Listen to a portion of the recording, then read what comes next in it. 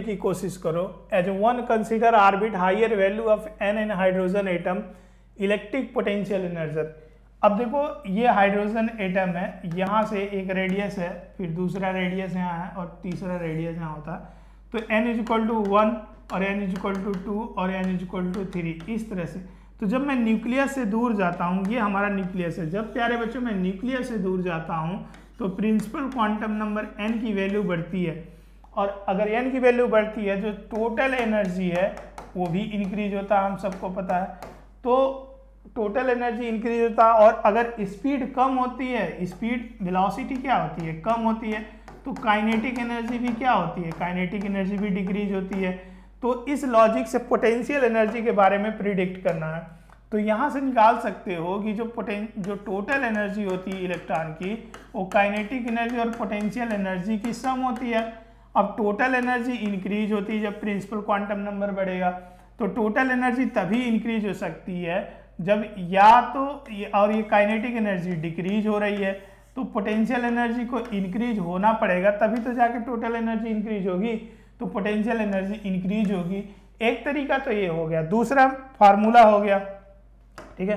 तो formula formula है कि energy in nth orbit total energy minus thirteen point six minus thirteen point six यहाँ से और यहाँ से n square upon Z square ये इलेक्ट्रॉन वोल्ट अब जो टोटल एनर्जी है, जो टोटल एनर्जी है minus times kinetic energy is equal to potential energy by two तो ये एक ब्रह्मास्त्र फार्मूला है, इधर इसको याद कर लो। जो टोटल एनर्जी है माइनस टाइम्स काइनेटिक एनर्जी और पोटेंशियल एनर्जी की आधी होती है।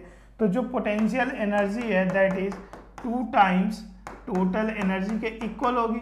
अब टोटल एनर्जी निगेटिव है तो two times minus thirteen point six n square और जेड स्क्वायर इलेक्ट्रॉन वोल्ट ये पोटेंशियल एनर्जी है। इस एक्सप्रेशन से आप लगा सकते हो।